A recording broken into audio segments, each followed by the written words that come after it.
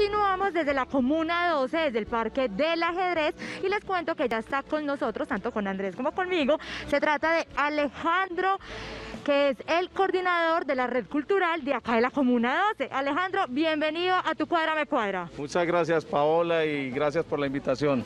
Bueno, Alejandro, cuando hablemos de ese talento que se encuentra en esta comuna, ¿qué podemos encontrar? Y su función acá para articular todos estos talentos artísticos, culturales. Bueno, Paola, tenemos la fortuna en esta comuna de que es muy nutrida en artistas.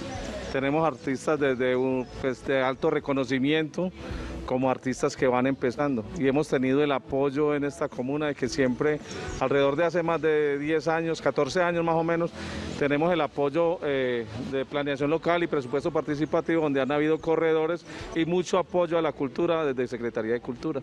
Paolita, Jun Alejandro, le recordamos a los televidentes la línea telefónica 268-6033 para que nos llamen, sobre todo porque aquí hay una, una palabra mm, clave dentro de lo que vamos a conversar con John Alejandro. Y Alejandro. Es que, ah, bueno lo tenemos como John Alejandro, Alejandro Bando.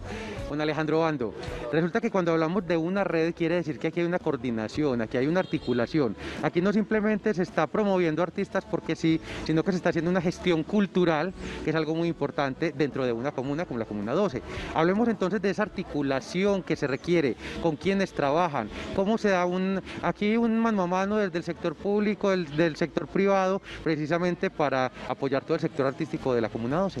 Claro que sí. A ver, eh, en una red eh, eh, es la unión de muchas fuerzas, ¿cierto? Individuales, tanto en todos los, gremios, teatro, danza, música, líderes culturales, eso se conforma la red. Hay muchos que no están dentro de la red, ¿cierto? Pero sí hay gran cantidad, tenemos alrededor de 100 artistas en la red cultural. ¿Qué hacemos nosotros en la red? Con el apoyo de la, privada, un gestor de la Comuna 12 que es Laurence Domínguez, con su empresa Domínguez Producciones y la Corporación Reculturarte, es parte fundamental en esta red. Entonces, ¿qué se hace desde la red? Se, hace, eh, se presta el apoyo, la asesoría, el impulso, por ejemplo, cuando viene, eh, como este programa que viene a nuestra comuna, el contacto en la red cultural de la Comuna 12, donde nosotros eh, facilitamos la llegada de los diferentes actores culturales a este tipo de actividades, como en otros eventos que, van llegando, pues, Secretaría de Salud, Secretaría de, de Derechos Humanos, ¿cierto? Y en asesorías de montar proyectos, hacer proyectos, todo esto es lo que presta, el servicio que presta la red cultural de la Comuna 12. Bueno, existen encuentros que ustedes digan, listo, nos reunimos 100, 200 artistas de acá de la comuna a hablar, a sacar un proyecto adelante o un evento que diga, bueno, cada año la red cultural, tal fecha, hace un encuentro en el parque y vienen los diferentes artistas. Bueno, tal como, como hacer un evento en particular para que todos se agremien, no pero sí, eh, para nosotros eh, ha sido una bendición el planeación local y presupuesto participativo, ¿cierto? Porque cada año los artistas esperan su presentación. Entonces nosotros tenemos 21 eventos acá, tenemos 21 eventos acá en la Comuna 12, cada año, donde tienen la oportunidad de presentarse los diferentes artistas de la comuna. Eh, eso fue creado por líderes de la comuna hace alrededor de 10 años, donde ellos se dijeron, bueno, vamos a sacar un recurso de planeación local y presupuesto participativo, primero para apoyo al artista, segundo para llevarle un entretenimiento a la comuna, ¿cierto? Que es necesario pues. Entonces, eh, cada año los artistas se montan en una tarima en diferentes sectores de la comuna. Todos los barrios tienen un evento. Y cuando terminamos los barrios eh, y los sectores eh, y no alcanzaron a entrar los, los artistas, hay dos feriartes que fue creado también para los que artistas que no pudieron estar en los barrios, en los diferentes barrios, se puedan presentar y son diferentes géneros.